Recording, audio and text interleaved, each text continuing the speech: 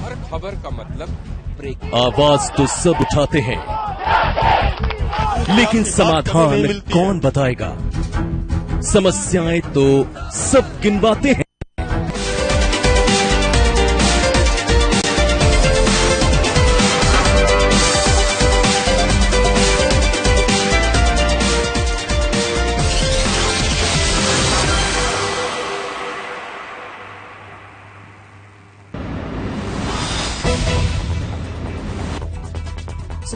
आज से अड़सठ साल पुराने अयोध्या केस में शुरू हुई सुनवाई। राम जन्मभूमि बाबरी मस्जिद स्वामित्व विवाद पर होगा फैसला।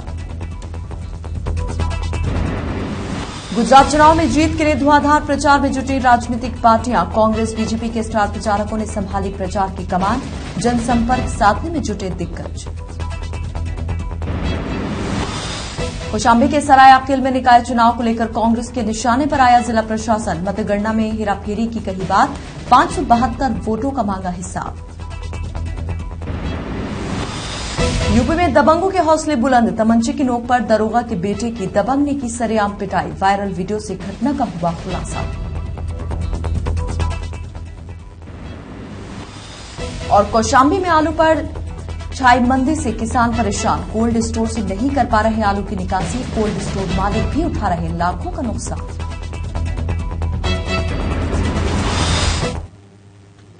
नमस्कार, स्वागत है आपका नेशन लाइव पर और आपके साथ हाजिर हूँ मैं कायनत अंसारी। बात सबसे पहले, लंबे समय से चले आ रहे अयोध्या विवाद की। एक साल पुराने विवाद और अड़सठ साल पुराने अयोध्या केस की निर्णायक सुनवाई आज से सुप्रीम कोर्ट में शुरू हो गई है। बाबरी मस्जिद विध्वंस की 25वीं वर्षगांठ से ठीक एक दिन पहले आज सुप्रीम कोर्ट में राम जन्मभूमि बाबरी मस्जिद स्वामित्व विवाद पर सुनवाई शुरू हुई है। चीफ जस्टिस दीपक मिश्रा की बेंच इलाहाबाद हाईकोर्ट के फैसले और पक्षकारों की दलीलों के मद्देनजर यह तय करेगी कि आखिर इस मुकदमे का निपटारा करने के लिए सुनवाई को कैसे पूरा किया जाए। यानी हाईकोर्ट के फैसले के अलावा और कितने तकनीकी और कानूनी बिंदु हैं जिन पर कोर्ट को सुनवाई करनी है? बता दें कि इस मामले से जुड़े 9000 पन्नों के दस्तावेज़ और 90000 पन्नों में दर्ज गवाहियाँ पाली, फारसी, संस्कृत, अरबी समेत अलग अलग भाषाओं में दर्ज हैं, जिस पर सुन्नी वक्फ बोर्ड ने कोर्ट से इन दस्तावेजों को अनुवाद कराने की मांग की थी।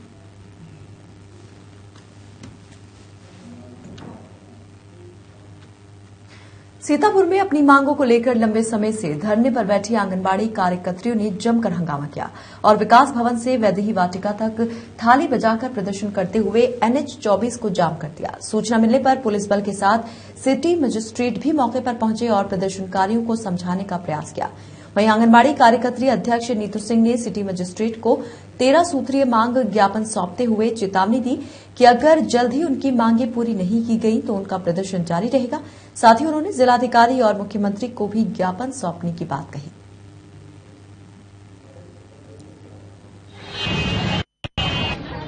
ज्ञापन देने के लिए कलेक्ट्रेट की तरफ़ आए थे। वहाँ पर हम अपने एसडीएम, मजिस्ट्रेट को भेजा भी एसडीएम सदर को। वहाँ ज्ञापन नहीं दिया गया। इनकी तरफ़ से जैसा मुझे बताया एसडीएम ने। उसके बाद ये लोग आगे आए कि हम लोग लखनऊ जाएँगे। लखनऊ जाने में हमारी पुलिस फोर्स साथ में रही, समझाने का प्रयास किया गया, फिर इन लोगों ने अपना नेशनल हाईवे बैठ के इंतज़ाम कर लिया।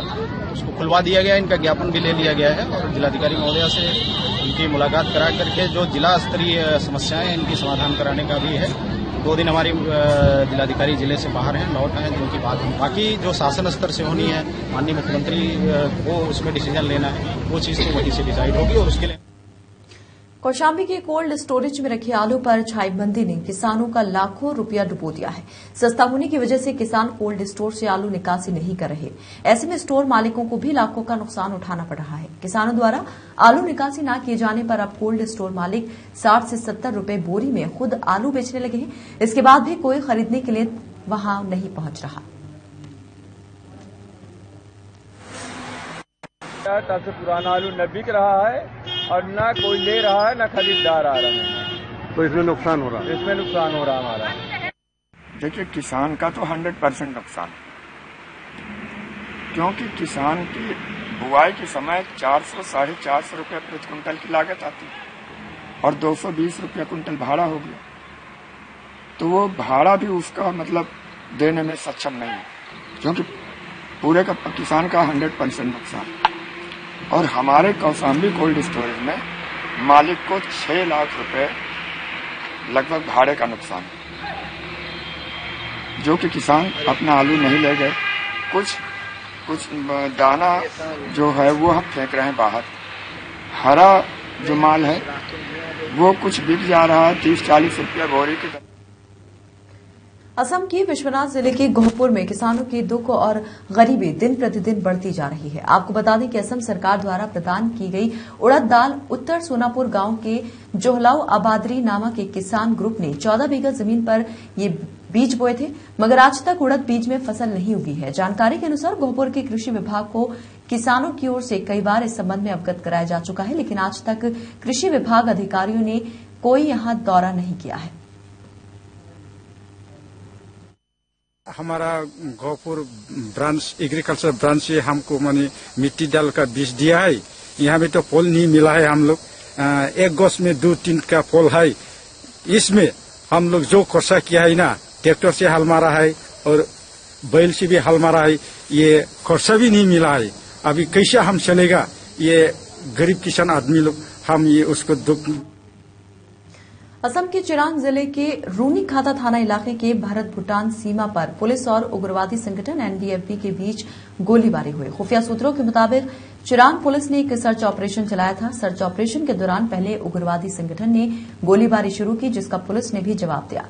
इसमें एक उग्रवादी संगठन का सदस्य जो है वो मारा गया। साथ ही संगठन एनडीएफबी के एक कैंप से भारी मात्रा में खाद्य सामग्री और हथियार बरामद किए गए हैं।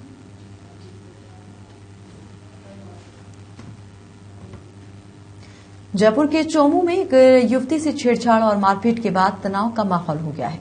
एक पक्ष के लोगों ने नारेबाजी और प्रदर्शन करते हुए मुख्य मार्गों से रैली निकाली और एसीपी को संबंधित मामले के लिए ज्ञापन सौंपा, जिसके बाद प्रशासन ने सख्त कार्रवाई करते हुए पूरे चौमू शहर में धारा एक लागू कर दी। घटना के विरोध में चौमू कस्बे के मुख्य बाज़ार बंद हैं और विवाद ज़्यादा और न बढ़े, उसके लिए भारी पुलिस फोर्स भी तैनात कर दी गई है। छोटी सी बात को लेकर के और दो समुदायों में टकराव हुआ था और एक किसी व्यक्ति के घर में जाकर के मारपीट हो गई थी। उसका हमने रात को मुकदमा दर्ज कर लिया था और उसमें कुछ लोगों को नामजद कर लिया है। कुछ लोगों को दो तीन लोगों को हम ले भी आए हैं। हम कार्रवाई कर रहे हैं। आज जिनके घर में घुस के मारपीट हुई थी, उस पक्ष के कुछ लोगों ने ये कहा, भाई, कार्रवाई करिए। तो हम कार्रवाई कर रहे हैं लेकिन उसके बावजूद भी कुछ लोग इकट्ठे हो गए बाज़ार बंद करवाने की कोशिश की। मैं सबसे यही नहीं खबरें लगातार जारी हैं लेकिन वक्त एक ब्रेक का जल्द हाजिर होते हैं।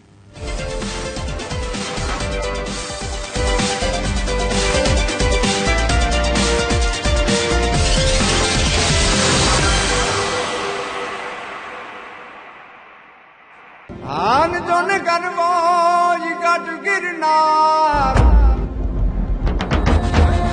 दिल दिल दा तिलांग फिर को तरगड ने कांगरा राणक रड ने रांग डाला मत और डांग नर सैना चैन टांग सुंदर नो सोंग सांग जिन जोगी बुद्ध बांग पर थी छलक चल शंख उठा चल ढोल बजा चल गला खोल ये गाना गा। सब खुशियाँ बनाने वाले हैं अच्छे दिन आने वाले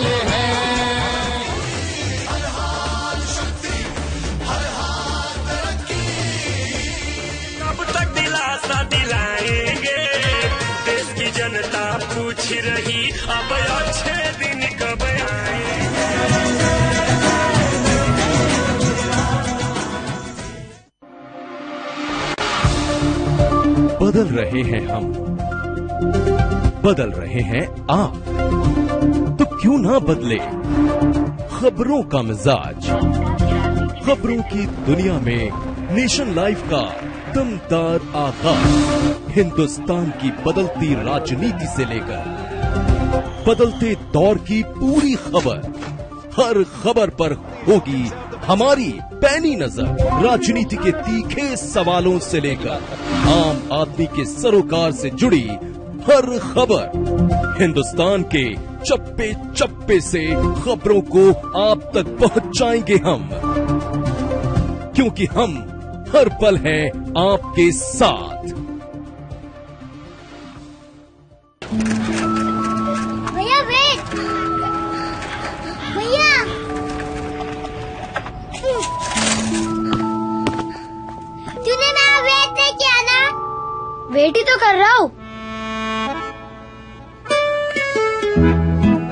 साथ साथ देखने में ही मज़ा आता है ना? अब अपने Airtel H D set top box पर पेन ड्राइव लगाएँ और लाइव टीवी रिकॉर्ड या पॉज करें। आज ही मिस कॉल दें seven six seven eight zero seven six seven eight zero पर। मनुष्य का जीवन कठिन है। उसे ज़रूरत है दिशा की। आध्यात्म से मिलेगा ज्ञान। देखिए। नेशन पर।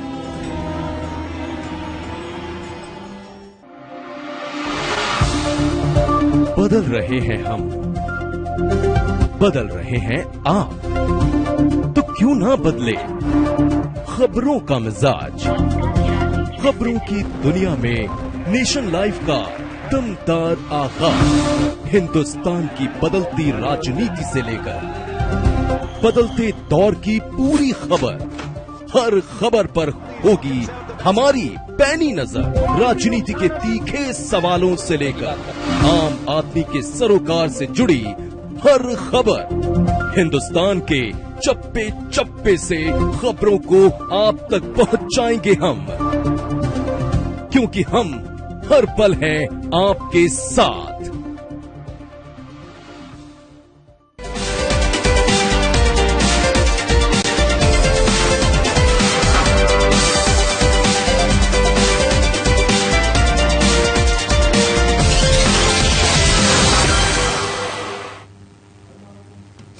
ब्रेक के बाद स्वागत है आपका, बढ़ते हैं आगे। अट्ठासी हज़ार ऋषि मुनियों की पावन भूमि पर 8 दिसंबर को मुख्यमंत्री योगी आदित्यनाथ शंखनाद करेंगे। इस शंखनाद कार्यक्रम की तैयारियों का जायजा लेने पर्यटन सचिव अविनाश अवस्थी ने हेलीपैड से लेकर कार्यक्रम स्थल पर जाकर निरीक्षण किया। उसके बाद चक्रकुंड और व्यास गद्दी पर पहुंचकर भी उन्होंने निरीक्षण किया। साथ ही भवन पहुंचकर सभी अधिकारियों को निर्देश दिया कि सभी कार्य समय से पहले पूरे हो जाने चाहिए। इसमें किसी तरह की कोई लापरवाही नहीं बरती जानी चाहिए।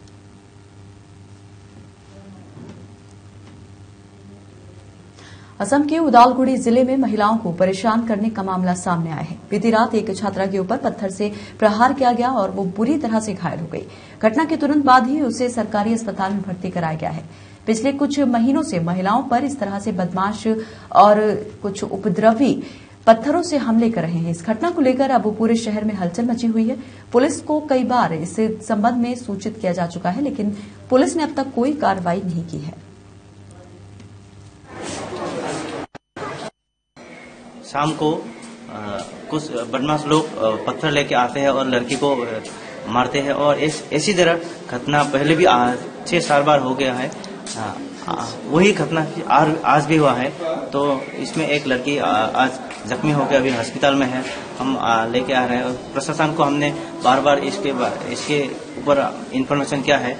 आ, मगर आ, हम देख रहे हैं कि प्रशासन भी उन बदमाश को पकड़ने के लिए आज सक्सेस नहीं हो रहा है, हो रहा है। तो महिलाओं पर लगातार ये पत्थर से हमले के मामले जो हैं सामने आ चुके हैं असम के उदालगुड़ी में, लेकिन हैरानी की बात यह है कि कई बार पुलिस को इस मामले में शिकायत के बावजूद अब तक कोई कार्रवाई नहीं की गई है। उत्तर प्रदेश में दबंगों के हौसले किस कदर बुलंद हैं, ये बागपत की बड़ौत में एक बार फिर देखने को मिला, जहाँ एक वीडियो वायरल हुआ है, जिसमें एक युवक दिल्ली पुलिस के दारोगा के बेटे की सरेआम पिटाई कर रहा है। तस्वीर में देखकर यह अंदाज़ा लगाया जा सकता है कि यूपी में दबंगों के हौसले कितने बुलंद हैं। वीडियो में आप साफ़ तौर पर देख सकते हैं कि किस तरह आरोपी युवक भरे बाज़ार में तमंचे की नोक पर दारोगा के बेटे को पीटता हुआ नज़र आ रहा है। बताया जा रहा है कि ये पूरा वीडियो बड़ौत के गुराना रोड का है। फ़िलहाल पुलिस अब इस मामले की जाँच में जुटी है। ये अखबार में ये बात छपी है। अभी पुलिस को किसी ने सूचना नहीं दी। प्राइमरी तौर पे जो जानकारी में आया है कि आ, ऐसी कोई बात घटना प्रकाश में नहीं आई है वहाँ पे। कहाँ से ये वीडियो वायरल हुआ किसने बनाया कहाँ का है इस विषय में हम लोग जो वीडियो वायरल हुआ है उसकी भी जाँच कर रहे हैं। किसने बनाया और कहाँ की घटना है और क्या मामला है पूरा।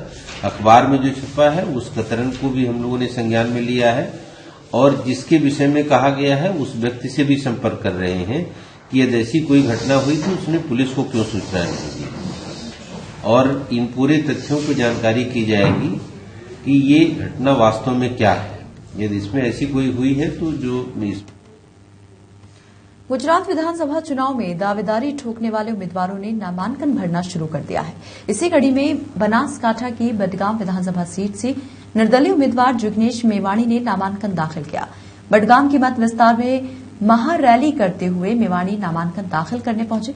इस दौरान स्थानीय लोगों ने दिल खोलकर जिग्नेश मेवाणी का समर्थन किया। रैली के दौरान जिग्नेश मेवाणी ने पीएम नरेंद्र मोदी और बीजेपी अध्यक्ष अमित शाह के साथ सीएम विजय रूपाणी पर करारा हमला बोला। रैली के मद्देनजर पुलिस प्रशासन की ओर से सुरक्षा के कड़े इंतज़ाम किए गए थे।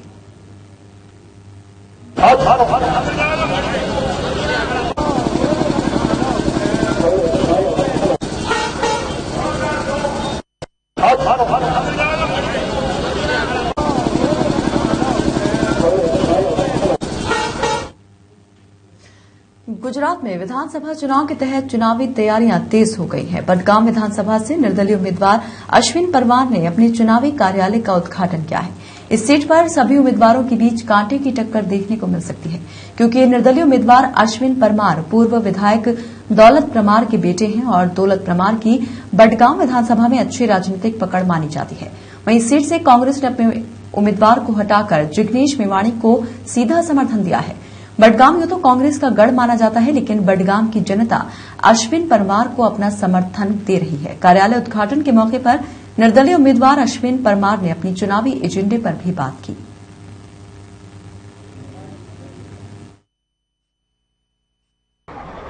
बड़गाम मत विस्तार और बनासकांठा डिस्ट्रिक्ट में मेरे पिताजी ने बहुत काम किया है और मैंने भी उनके रास्ते पे चल के पूरे डिस्ट्रिक्ट में शिक्षण का एजुकेशन और समाज के अंदर लोगों को अपलिफ्टमेंट करने के लिए काम कर रहा हूँ। हम लोगों ने एक अलग तरीके से काम शुरू किया है। कल से हम हर गाँव में जाएँगे। हर गाँव में जाएँगे और गाँव से सबको प्रश्न पूछेंगे कि भाई, आपका क्या प्रॉब्लम है, क्या है? और वो जो भी बताएँगे, वो उसका एक लिस्ट बना के और उसको सुलझाने का प्रयत्न करेंगे। जितने लोग, हर समाज के लोग, हर समाज के आगेवान, इनका मुझे सपोर्ट है और उनके सपोर्ट और उनके आशीर्वाद से मैंने फॉर्म भरा है। और मुझे आशा है कि मैं जंगी बहुमति से विजय होऊँगा। कि पूरे भारत के अंदर आप देखेंगे कि गाँव के गाँव गाँव में रोड नहीं होते थे। मेरे पिताजी के टाइम पे यहाँ पे बहुत रोड बने अच्छा काम हुआ है, हॉस्पिटल आए हैं, यहाँ पे सब हुआ है। ये बड़गाम का बस स्टैंड का प्रश्न है। ये और एजु जो रोज़गार का प्रश्न है, वो सॉल्व करने का मैं प्रयत्न करूँगा। हमारा हमदर्द और और सब समाज को साथ में रखने वाला उम्मीदवार एक सिर्फ़ अश्विन भाई परमार ही। है आज के युग में जिग्नेश मेवाणी जो जातिवादी और कौमवाद फैलाते हैं वो भाजपा का ही एजेंट है। और भाजपा का एजेंट भाजपा के एजेंट के, के रूप में यहाँ हमारी समाज और अंदर जातिवाद फैलाने के लिए यहाँ है। जिसमें समग्र वडगाम के समग्र समाज के लोगों ने समर्थन की बात यहाँ हाजिर हाजिर रह के कबूल की है और अश्विन भाई को जंगी बहुमत से जिताने के लिए उन्होंने आज प्रण लिया है और साथ ही हमें समर्थन देने का विश्वास जताया है और आगामी दिवसों में अश्विन भाई की जीत 100 परसेंट नक्की है। अश्विन भाई के लिए समग्र जिला में सहकार की भावना है।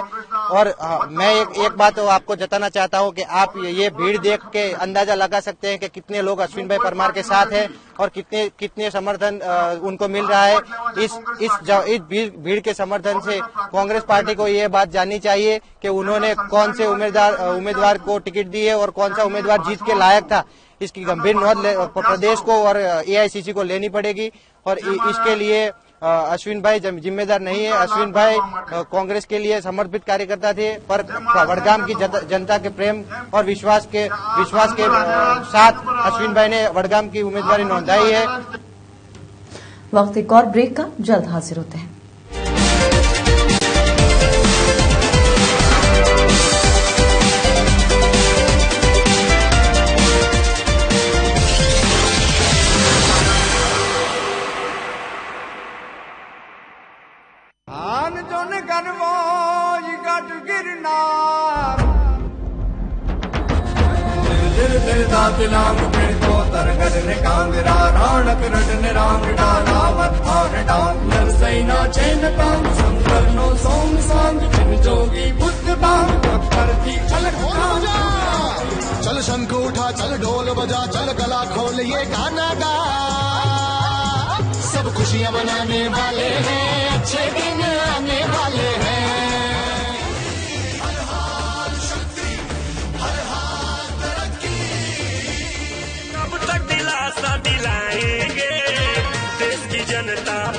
रही, अब अच्छे दिन कब आएँगे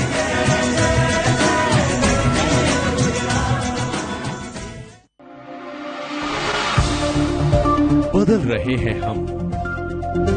बदल रहे हैं आप। तो क्यों ना बदले? खबरों का मिजाज। खबरों की दुनिया में नेशन लाइफ का दमदार आगाज़। हिंदुस्तान की बदलती राजनीति से लेकर बदलते दौर की पूरी खबर। हर खबर पर होगी हमारी पैनी नज़र। राजनीति के तीखे सवालों से लेकर आम आदमी के सरोकार से जुड़ी हर खबर।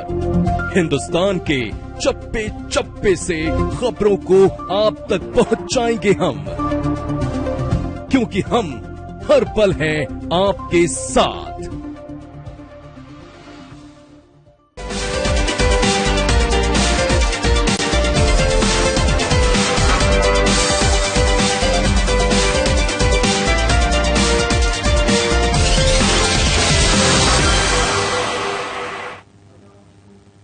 ब्रेक के बाद स्वागत है आपका, बढ़ते हैं आगे। गुजरात के बनासकांठा में चडोतर गाँव के करीब बना सैनिक मंदिर, लोगों की आस्था का केंद्र बनता जा रहा है।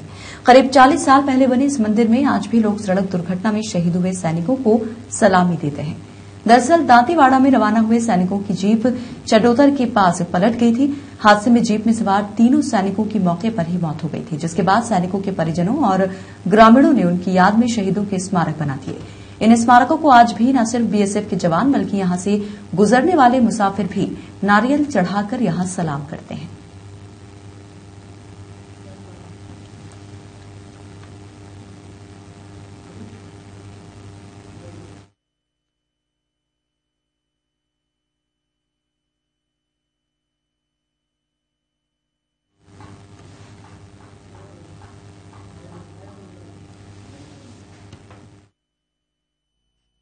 करीबन चालीस बैतालीस साल की बात है पुरानी उस टाइम में जब वीर शहीद का जो यहाँ देवस्थान बनाया हुआ है, उन लोगों का एक्सीडेंट हुआ था। गाड़ी पलटी खा चुकी थी और अंदर जो सामान भरा था, उनके सर पे लगा हुआ था और उनके तीनों शहीदों के शरीर के चुतरे चुतरे जो बाहर निकाले थे इनको। और फिर उनके बाद यहाँ इनके सगा वाले, या कोई रिश्तेदार, या फिर गाँव वाले सब लोग मिलकर इनके ये तीन देवस्थान बनाए हैं।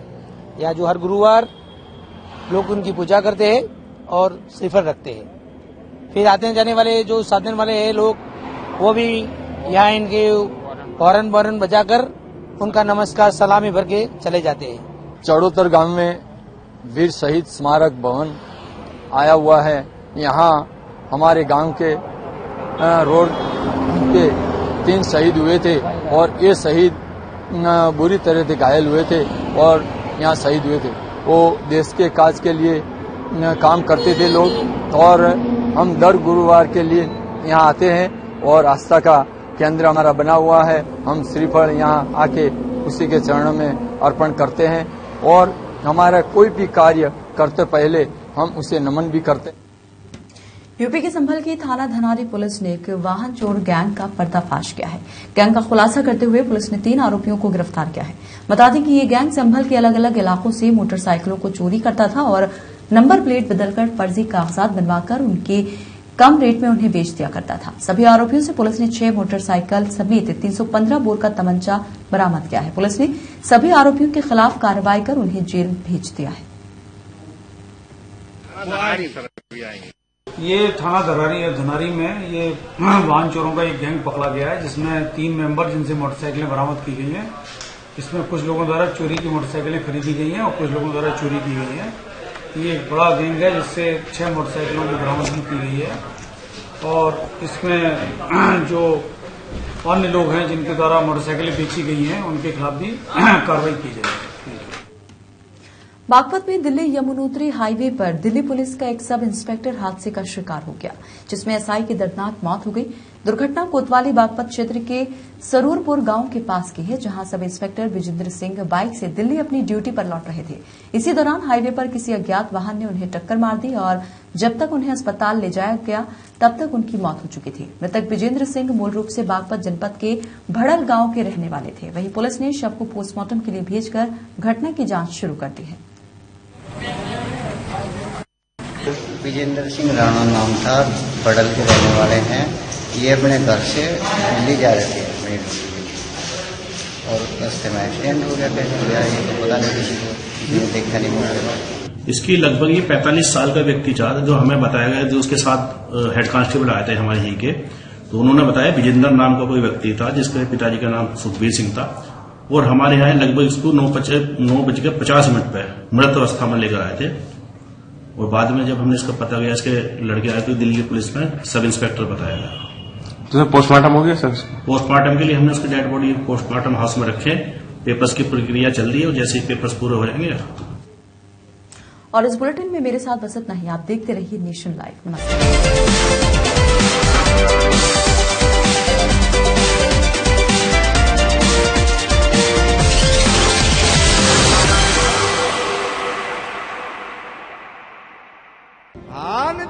करवाज गट गिरना दिल दिल दा तिलांग पिण को तर गडने कांगरा राणक रडने रांग डाला मत और डांग नर सैना चैन तांग संकर नो सोम सांग जिन जोगी बुद्ध बांग कपर की अलग चल शंख उठा चल ढोल बजा चल गला खोल ये गाना गा सब खुशियाँ मनाने वाले हैं अच्छे दिन